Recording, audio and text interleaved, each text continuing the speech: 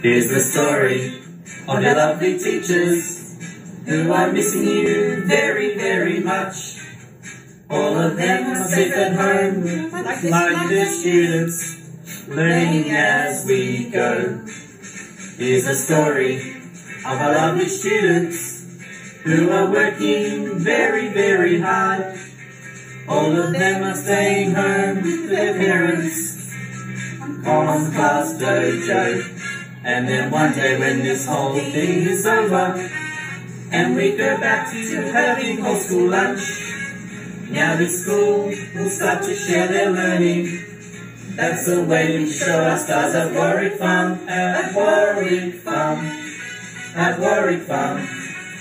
We lead the way, we are stars at Warwick.